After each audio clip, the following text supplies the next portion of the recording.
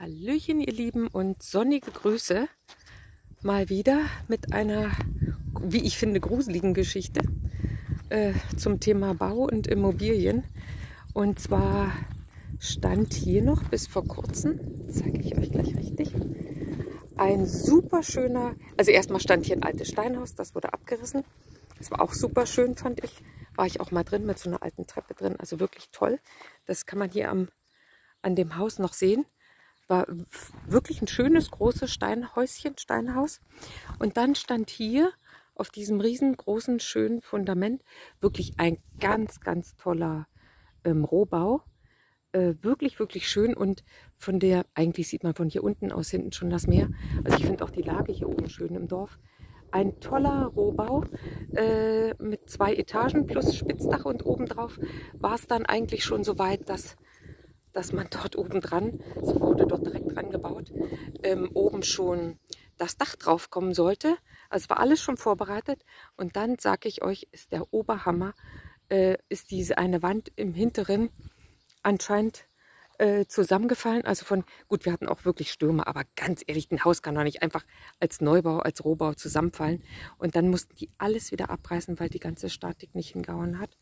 Und jetzt haben die, wie man sieht, sind das ja alles gebrauchte Steine.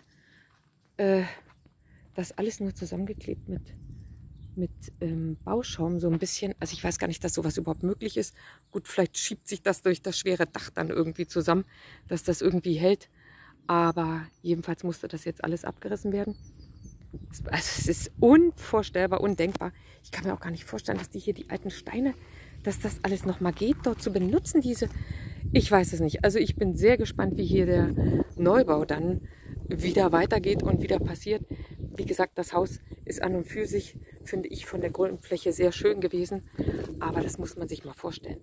Jetzt auf diesem, im Rohbau schon so zu fuschen, Entschuldigung, dass ich das so sage, dass das eingerissen werden muss wieder oder abgetragen werden muss, das ist schon echt bitter, oder?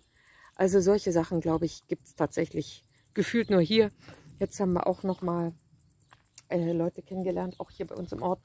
Die haben nebeneinander zwei Neubauten, 21 bauen lassen. Und auch da läuft im Bad, wenn es regnet, durch die Badlampe äh, das Wasser rein. Äh, bei dem auch beides Flachdächer. Also so ein Scheiß zusammenzubauen, so ein Fusch am, am Bau zu machen, geht echt. Also ich glaube, das geht wirklich nur hier. Ich weiß es nicht. Warum, wieso, weshalb.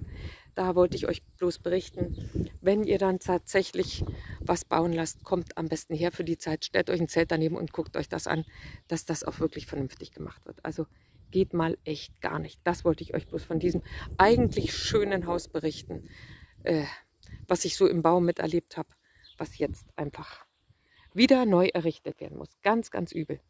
Also dann, ja, sehen und hören wir uns im nächsten Video. Und bis dahin hier noch eine schöne Aussicht nochmal.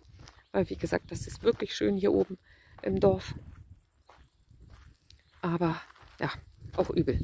Und ähm, hier hinten dann die ganzen Straßen hier runter in diesen ganzen Wäldern. Da gibt es auch jetzt so viele ähm, Gartenanlagen, wo überall die Schilder, welche ich auch mal äh, ab, im, im Video machen, wo ganze Gartenanlagen komplett abgerissen werden müssen, äh, weil es alle Schwarzbauten sind. Also es wird, es wird auch hier langsam ja, EU-mäßiger.